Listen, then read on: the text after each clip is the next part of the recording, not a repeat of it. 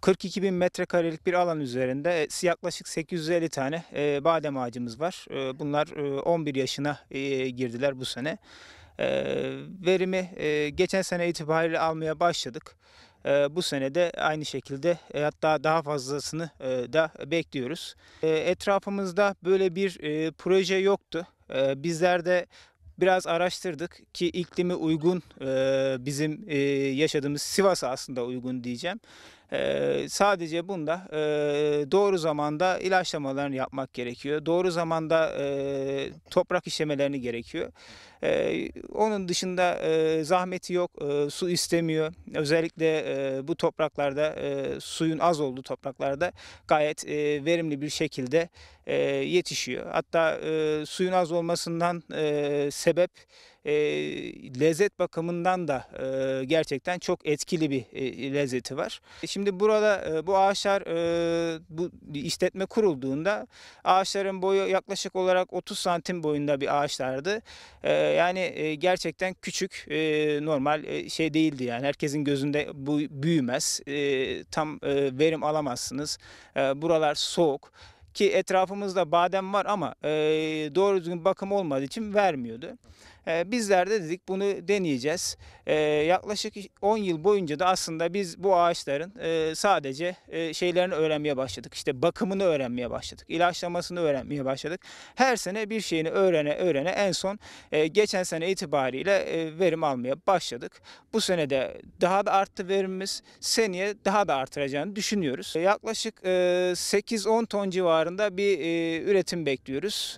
Geçen sene 5 ton almıştık. Bu sene de e, 8-10 ton civarında bir beklentimiz var. Bizim zaten solucan gübremiz var. Kendimiz üretiyoruz. Bunu bahçemizin her yerinde bu üretim devam ediyor. Yaklaşık 5 milyon adet solucanımız var.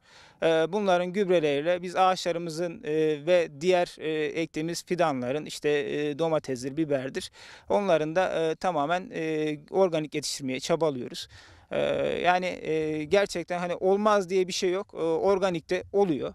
Ee, Sadece biz e, kullandığımız e, ilaçlarımız var ama bunlar e, kesinlikle hormon değil, bitki daha da iyi gelişsin değil. Sadece biz zararlı böceklerden, zararlı şeylerden korumak amacıyla ilaçlama yapıyoruz. Şöyle genel anlamıyla kuru yemiş olarak gidiyor ve bunu Sivas çevresinde sattık geçen sene. Birkaç Antalya'dan ve diğer illerden de siparişler ol- oldu. Onlara da gönderdik.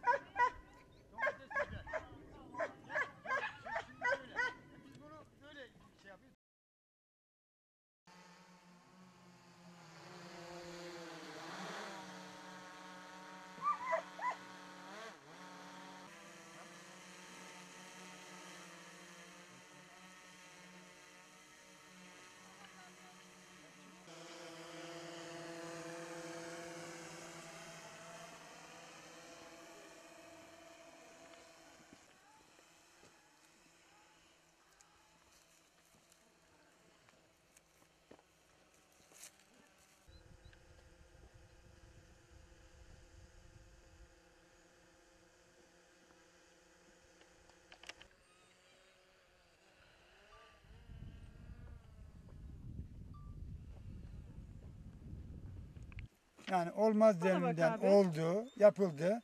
Demek ki oluyormuş Sivas'ta yani. Bak bana abi.